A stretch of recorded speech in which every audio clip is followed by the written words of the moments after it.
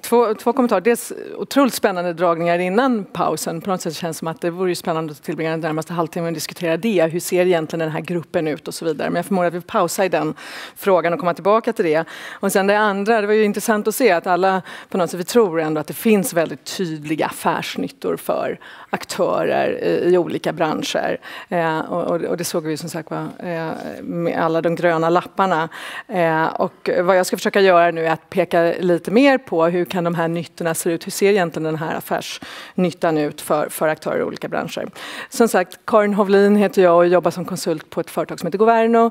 Vi jobbar med, eh, som managementkonsulter mot offentlig sektor och jobbar mycket med frågor kopplat till eh, samhällsutveckling. Eh, och vi har som sagt haft ett uppdrag från Digidel-kampanjen att belysa frågan. Vad finns det för affärsnytta för olika aktörer av att deras kunder eller brukare, eller vilken begrepp man använder, övergår från att vara analoga till att bli digitala? Vad finns, vilka värden finns i detta?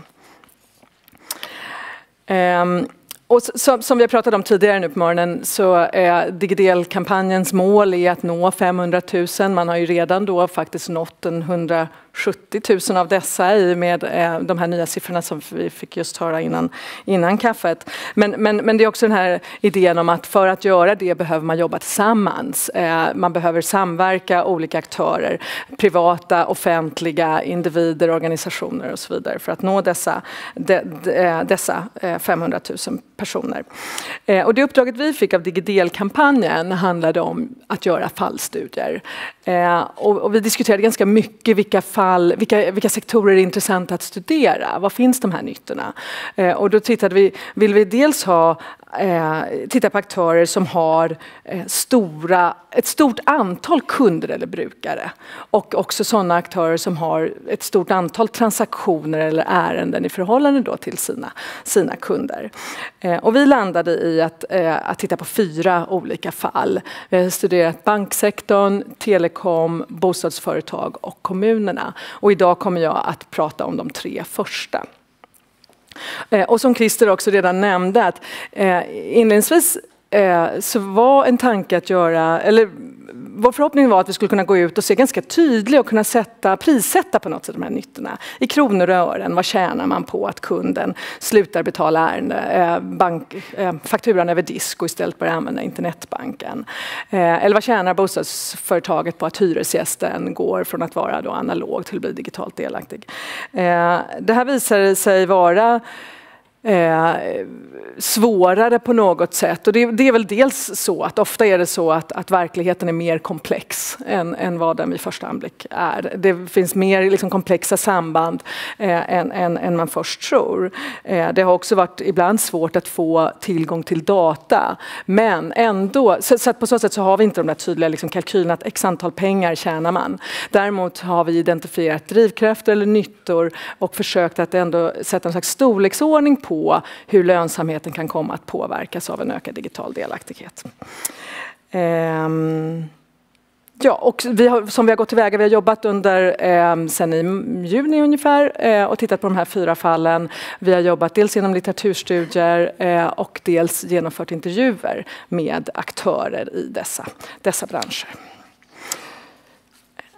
En sista eh, introbild innan vi går in på resultaten. Eh, det finns, som ju alla här inne är väl medvetna om, ett antal olika nyttor av ett digitalt innanförskap. Det handlar om individerna som kan, kan utnyttja den ökade pristransparensen och shoppa på nätet eller om att ha kontakt med familj och vänner runt om i världen. Det handlar om företag som får tillgång till ökad kundbas eller som kan, kan leverera sina tjänster mer kostnadseffektivt. Det handlar om offentlig sektor som får nya verktyg att, att leverera sina tjänster och så vidare. Så vidare, så vidare. Eh, och eh, däremot, så, som sagt var, utgångs punkten för vårt arbete var att titta på vad känner producenten? Ganska ofta är det så att de här studierna som görs fokuserar antingen på individen och individnyttan eller på ett mer samhällsekonomiskt, ett bredare perspektiv. Eh, Medan vi då har försökt att titta på, på, på, på den här frågan ur ett producentperspektiv. Och då kan man ju egentligen fråga sig, ja men om det nu finns, det är så självklart det finns massa nyttor, har inte alla företag redan liksom utnyttjat de här möjligheterna? Har man inte liksom sett till att, att ens kunder utnyttjar de digitala kanalerna? Och eh, det är väl ett liksom ja på det visar i alla fall vår studie att visst, eh, det finns ju självklart så att man, man, man utnyttjar de här digitala kanalerna och, och det faktum att många kunder är digitalt delaktiga redan idag. Men vi menar att det finns en, liksom en outnyttjad potential här och att det borde finnas en tydlig affärsnytta för fler aktörer att delta. Så, nu ger vi oss in på första fallstudien. Den har alltså rört banken. Eh, och, och huvudfrågan har egentligen varit som sagt, vilken affärsnytta får en bank av en ökad digital delaktighet bland sina kunder?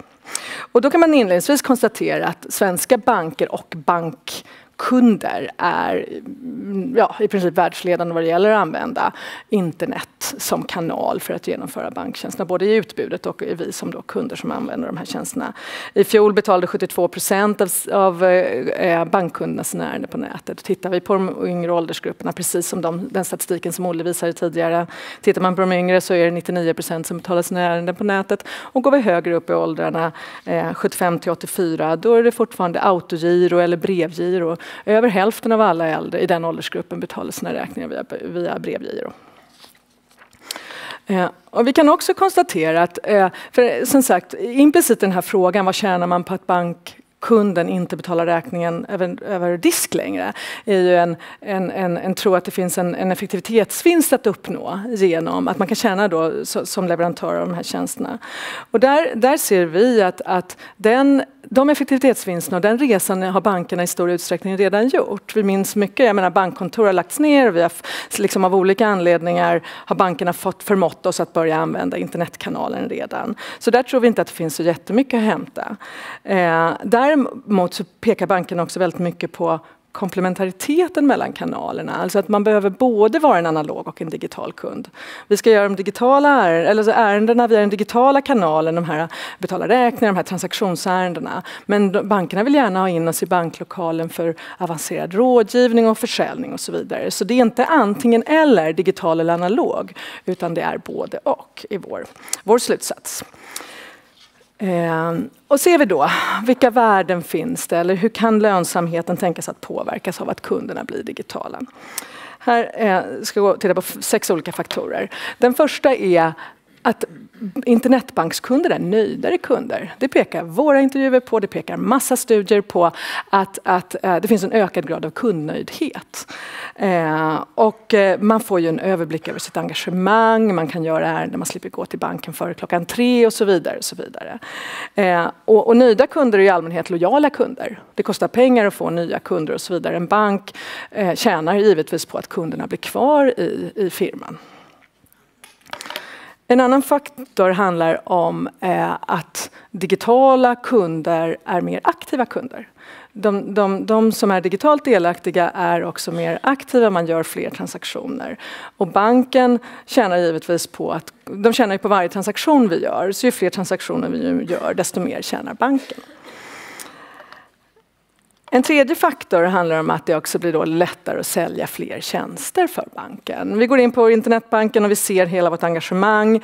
Eh, vi kanske, det poppar upp ett erbjudande om att skaffa sig ett nytt kontokort eller om att nu kanske det är dags att se över lånet och så vidare. Alltså det, och, och, och, eh, och, då får banken möjlighet då att, att, att sälja ytterligare en tjänst till mig som kund. En fjärde faktor som då påverkar lönsamheten handlar om att eh, om man använder en av de digitala kanalerna så, så, finns det också en benägenhet att kanske använda flera. Under senaste året så har bankerna i stor utsträckning eh, lanserat mobilbankerna och de har fått ett oerhört genomsvar, sett väldigt kraftiga ökningar av antal användare i mobilbankerna. Eh, och, och, går vi då tillbaka till det här, en digital kund är en mer aktiv kund, gör mer transaktioner, banken tjänar, så är det här någonting som, som då kan ha en positiv effekt på lönsamheten i, i banken banken. Och sen två faktorer i slutet som vi då inte tror har lika stor betydelse som de här tidigare när det gäller påverkan på lönsamheten. Men där den ena handlar då om det här med lägre transaktionskostnader. Där tror vi att de flesta av de alltså vinsterna eller effektivitetsvinsterna redan är gjorda. Men det är klart att viss mån frigörs resurser, i synnerhet på bankkontoren, om de eh, anställda där till exempel kan användas mer då till, att, till, att, eh, eh till den här avancerade rådgivningen och försäljningen. Och sen så är det slutligen då att eh, det finns en, eh, vissa banker har en avgift också för internetbankerna för att använda den tjänsten. Och det utgör också då en, en potentiell intäktskälla för bankerna. Så sammanfattningsvis på liksom frågan, finns det en nytta? Finns det ett värde för banken? Finns det en affärsnytta av att, att bidra till att öka delaktigheten? Ja, det, det, det ser, ser, vi väldigt tydligt att det finns. Eh, men det handlar mindre om det här med att, att, att nå de här effektivitetsvinsterna. Det handlar mer om möjligheten att sälja fler tjänster för fler aktiva kunder. Eh, och det handlar också, eh, en viktig faktor är också det här alltså varumärkesbyggande, det långsiktiga, att visa att man arbetar med samhällsutvecklingsfrågor eh, och samhällsengagemang. Så det tror vi också är en viktig faktor när man för en dialog med bankerna om eh, varför eh, det finns ett värde att delta i arbete för att öka den digitala delaktigheten. Mm. Vi kommer ju efter efter jag har talat så kommer vi få höra lite mer om banker och samarbete man har gjort i Östergötland så får vi se om de här slutsatserna stämmer. Så, då går vi vidare. Nästa fallstudie som vi har gjort har rört telekomsektorn. Eh, och här ser man ju på något sätt att telekomsektorn har en central roll i arbetet med Eh, digital delaktighet eftersom de här eh, företagen i allmänhet är bärare av de tjänsterna som vi som är digitalt delaktiga utnyttjar. Eh, och då tycker man att här borde det finnas liksom en tydlig affärsnytta på en gång. Jag menar en, en till delaktig är ju en till potentiell kund. Vi kan konstatera att telekomsektorn karaktäriseras ganska mycket av både snabb, till, snabb tillväxt och en, en ganska kraftig eller eh, hård konkurrenssituation på marknaden. Eh, vi ser också att internationellt så finns det en hel del eh, exempel på att telekomföretag har deltagit i liknande kampanjer som Digidel. Bland annat i, i Storbritannien är BT med i det här Race Online som Ellen nämnde i sitt anförande. Eh, I Australien jobbar Microsoft och Cisco med liknande sådana initiativ. I Sverige har, har, vi ju inte sett det ännu lika liksom så samlat men det finns givetvis en del exempel på eh, Telenor har jobbat med någonting de kallar Surf Academy vilket är ett samarbete för att få skolelever att lära sina lärare helt enkelt. Det finns också en hel del samarbeten med pensionärsorganisationer. Eh, vi kan också konstatera att telekombolagen har ganska bra koll på sina kunder. De vet vilka som är med och vilka som inte är med och har ganska mycket en, en, en kunskap kring, kring faktorer. Varför? Vilka hinder eh, de här eh, kundgrupperna har för att, för att då inte vara delaktiga. Eh, och det är primärt då äldre och personer med mer begränsade ekonomiska resurser. Eh, inget nytt där. Eh, men många intervjupersoner pekade också på, lite utifrån vad, vad Olle pratade om innan pausen, att, att det handlar liksom inte bara om att tillhandahålla tekniken. Det handlar om att många tycker liksom att det är krångligt och så vidare. Och att det handlar om att skapa ett intresse för eh, och en kunskap om, om möjligheterna och inte bara som sagt var leverera teknik. Och vad finns det då för drivkrafter och hur kan lönsamheten tänkas påverkas från ett telekombolags perspektiv? Ja, eh, här är fem faktorer som, som vi har identifierat i vårt arbete. Eh, den första handlar givetvis om tillväxten och eh, en möjligheten att öka kundbasen. Eh, här har vi en och en halv miljon potentiella nya kunder. Eh, och nu tror vi att det är hyfsat kostsamt att eh, knyta till sig nya kunder. Eh, men det finns också en väldigt hög intäktspotential. Ponera att man får 500 000 nya bredbandskunder. Man pröjsar 200 spänn i månaden, 2500 om året. Det är en intäktspotential på 1,2 miljarder. Alltså det blir ganska snabbt eh, eh, betydande, betydande belopp. En annan fråga handlar om att eh, öka möjligheten också att sälja fler eller, eller eh, fler befintliga eller nya tjänster. I, telekom Oj, förlåt, nu gick jag för snabbt. Så. I telekom eh, i telekombranschen nu så pratar man väldigt mycket om triple play och helkunder. Och i triple play då att, att från samma leverantör få tv, telefoni och internet. På vissa håll också vet jag i USA man pratar ibland om quad play när man lägger in också mobiltelefonin i det. I svenska marknaden har vi inte gjort den distinktionen. Eh, men, men eh, och att få en kund som har ett, liksom ett helfled engagemang eh, och då får man ju också den här, ofta då, en ökad lojalitet och så vidare. Ehm, och om vi tittar till exempel på Telia. Telia har nästan 6 miljoner eh, mobiltelefonikunder, de har ungefär 3,5 miljoner fasttelefonikunder men de har 1,1 miljoner bredbandskunder. Det är klart att då kan man få upp den här eh, andelen bredbandskunder till en samma nivå som mobil och fasttelefoni så är det klart att det finns betydande potential till ökade intäkter här. En, en, tredje faktor handlar, precis som, som vi nämnde med bankerna, det här med att det stärkta varumärket, både externt och internt och det som ofta kallas CSR, eller Corporate Social Responsibility eller samhällsengagemang kanske man kan säga på svenska. Eh, och då är det både gentemot som sagt, varumärkesbyggande mot kunderna men det också, finns också ett internt perspektiv på det eh, i det att man vill vara en attraktiv arbetsgivare. Många unga idag, och de liksom, det finns en jakt på de bästa talangerna, många unga idag värdesätter den här typen av faktorer när man letar potentiella arbetsgivare. Så det har också ett, en, en sån, eh, sån betydelse. Ehm, en tredje faktor handlar just om det här som jag tangerade nyss, om den ökade möjligheten att hålla kvar kunderna. Eh, ofta pratar man om churn rate som är då liksom omsättningstakten och där ser man till exempel på mobilmarknaden så är det ganska hög omsättningstakt ofta. Vi är inte så jättelojala, vi byter, eh, speciellt nu när det finns nummerportabilitet, vi kan flytta med oss vårt nummer och vi går till ny kund. Så det finns en strävan i telekomföretagen att dra ner den här churn raten då. Och då som sagt om vi blir helkunder, om vi anlitar, köper alla de här tjänsterna så är det det lite knepigare för då ska vi både byta tvn och internetleverantören och kanske ja, och, och, och telefoni och sådär. Det blir liksom råddigt och då kanske man snarare, om man får ett bra erbjudande, att man stannar. Eh, och den sista faktorn eh, så skapar ju en ökad digital delaktighet en möjlighet att ha närmare kommunikation och relation med kunden. Man kan sända elektroniska fakturor, man kan ha, kanske effektivisera eh, supporttjänsterna, man kan göra dem online och, och, och så vidare. Och man kan också konstatera att tillväxten här, den potentiella då, påverkan på lönsamheten gäller ju inte bara operatörerna som har varit fokus här utan det gäller ju hela telekombranschen, hårdvaru och mjukvaruleverantörer också. Så frågan eller, som vi har ställt oss här är ju då som sagt, finns det en affärsnytta för telekomföretag att bidra till att öka den digitala delaktigheten? Och, och det ser vi tydligt att absolut, det finns det. Eh, det finns eh, ganska omedelbart i, i, just i det att man är leverantör av den här bäraren till, till, till tjänsten, eh, att få tillgång till internet. En ny digitalt delaktig individ är potentiellt en ny kund. Eh, men man kan också konstatera att det handlar inte bara om att få liksom tillgång till infrastrukturen utan det handlar också om hårdvara, mjukvara, supporttjänster, installationsservice och så vidare. Och det, det får oss att, att fundera kring, kan man tänka sig liksom paketlösningar när, när olika aktörer i den här sektorn går ihop helt enkelt och, och levererar någon slags liksom start paket eh, som innehåller flera av de här komponenterna. Sen funderade vi också att det kanske är dags att liksom utmana operatörerna lite sådär. Hösten 2013 kommer vi se vilken av de stora internetleverantörerna som fick flest kunder. Hur jobbade de? Och, och, så, så någon, någon form av liksom tävling. Tävlingar brukar driva aktörer på marknaden. Så det var som sagt telekomföretaget och nu ska jag under mina sista fem minuter ungefär Mm, så. Eh, prata om det sista fallet vi har tittat på som handlar om bostadsföretagen. Eh, och där då återigen, vilken affärsnytta finns det för bostadsföretag av en ökad digital delaktighet? Vad händer när kunderna går över från att vara analoga till att bli digitala?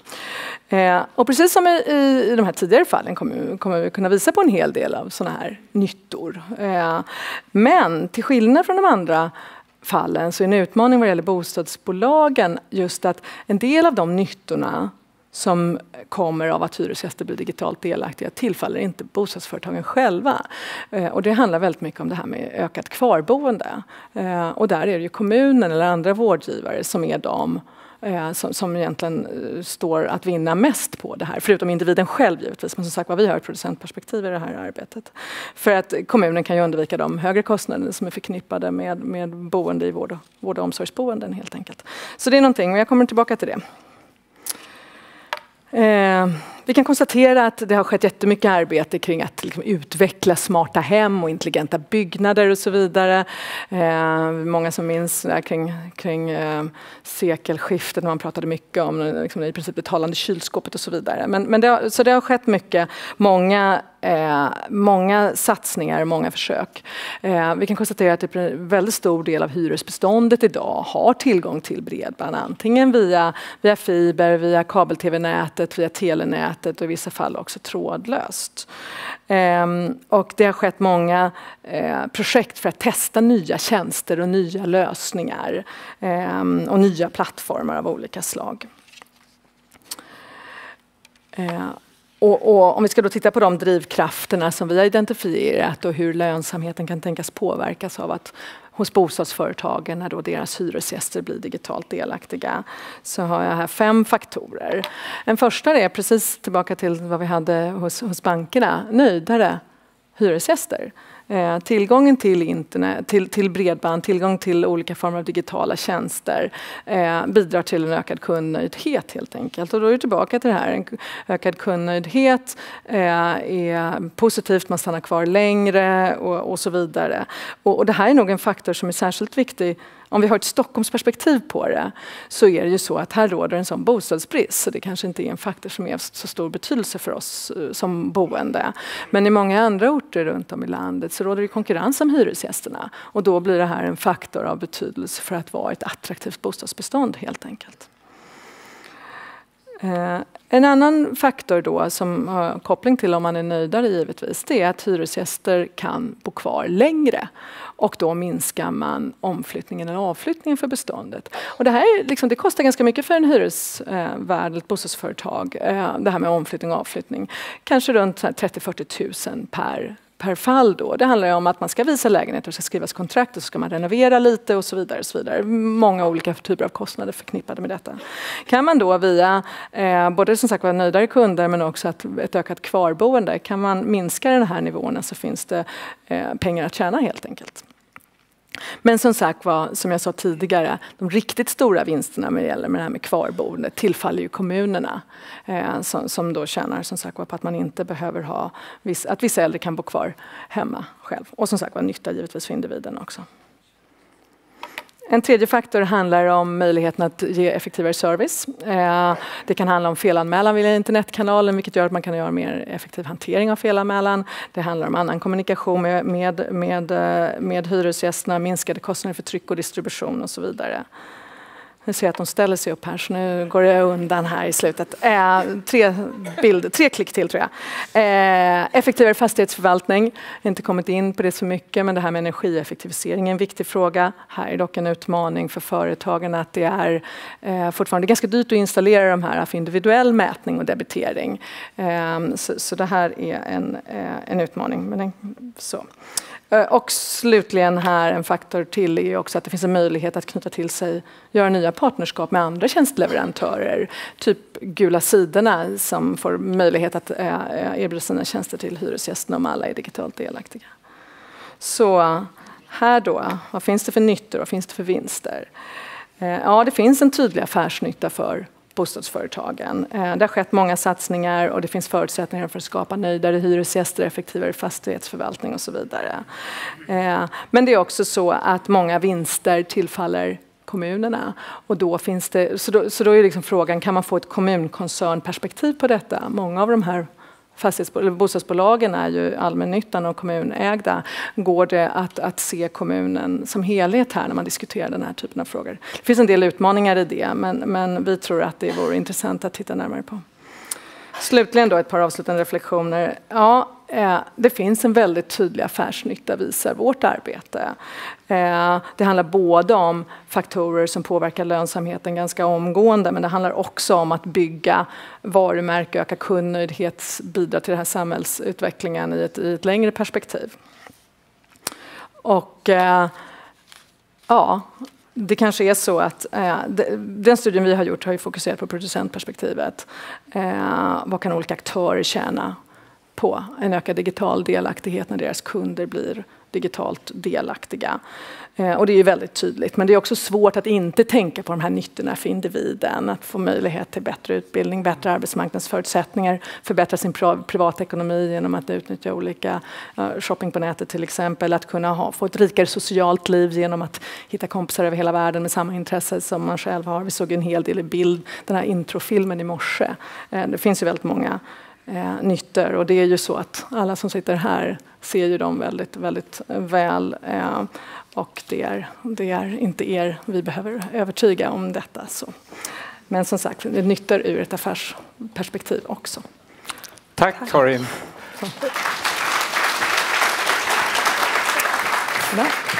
Har vi några frågor från eh, publiken direkt? Ja, medan alltså, ni funderar kan jag vill kanske fråga ungefär så här att Eh, ja, det finns tydligen affärsnyttor för alla de här som du har tagit upp. Men gör de någonting åt det?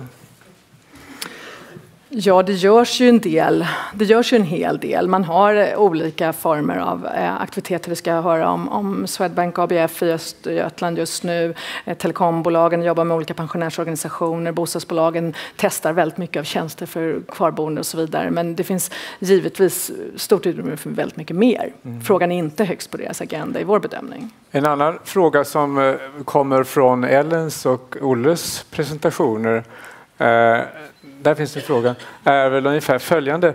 Ja, men de grupper som vi talar om här, som, som Ellen pekade på, de som har det sämst ställt, är det verkligen intressanta kundgrupper för de här företagen?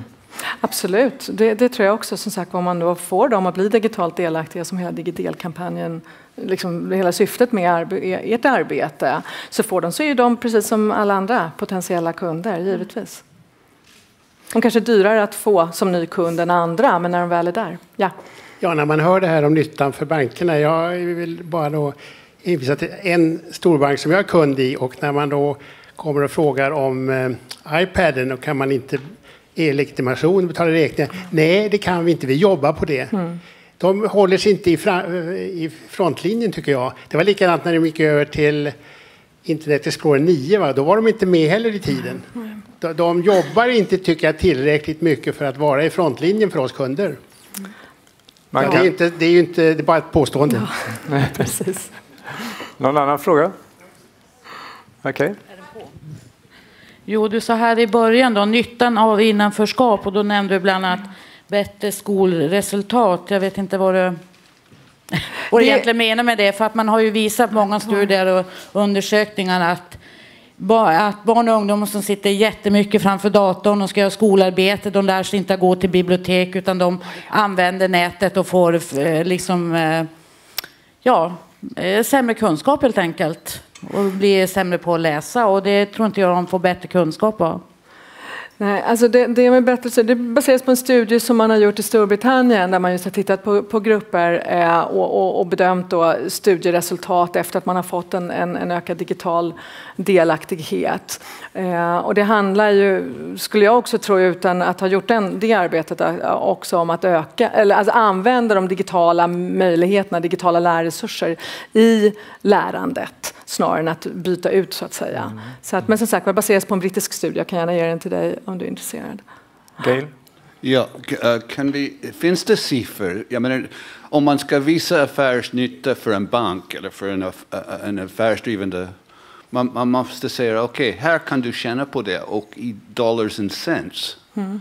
Ja, det var kan, ju just, kan vi komma dit? Ja, det var ju just det, vår förhoppning, så att vi skulle kunna göra det väldigt, väldigt tydligt. Och det, så långt kom vi inte i, i det här arbetet. Det var mer komplext och svårare och att det snarare blev så att visa på drivkrafter och liksom storleksordning i lönsamhet. Mm. Och det är rätt intressant mm. att komplexiteten är så stor och just samspelet mellan både det digitala och det analoga är så stort också så att eh, det inte finns de här enkla tydliga måtten. Och nästa steg måste vara att de är med i Digidel förstås. Absolut. Ja. Precis. Här har vi en sista fråga. Ja. Jag försöker komma in i det digitala samhället, även analogt. Som ni ser så är det väldigt svårt med en rullator. Men när det gäller bankaffärer, eh, Eh, det har jag skett väldigt bra i många år, ända tills min syn började bli sämre. Då har de en liten dosa med myrsiffror på det inte ens går att förstora. Eh, jag försökte klara den länge, men min bank hade varit tio sekunder eller någonting. Jag kom aldrig in på banken. Och jag gick in till dem och undrade vad är det för fel. Det var då de kom underfund med att jag är för långsam och de kunde inte hjälpa mig. De, kunde, de hade ingen dosa med några större siffror och de trodde inte, ja kanske, att vi håller på att arbeta på problemet. Så då sökte jag en ny bank och då går det bättre.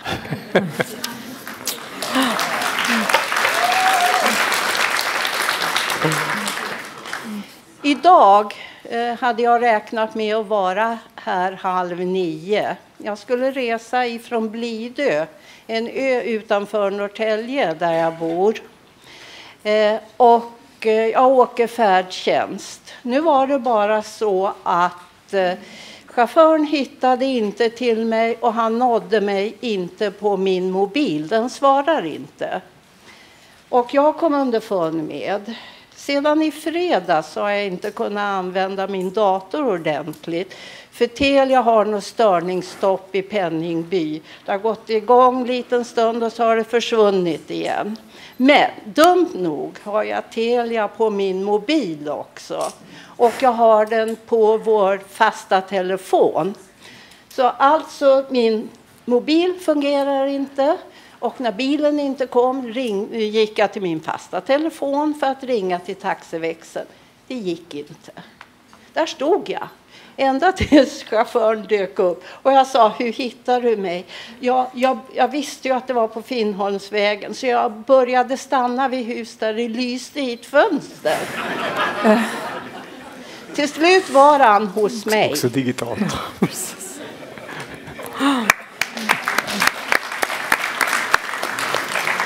Ja. Då ska vi börja med att tacka Karin så jättemycket. Oj, Tack för den här presentationen. Tack så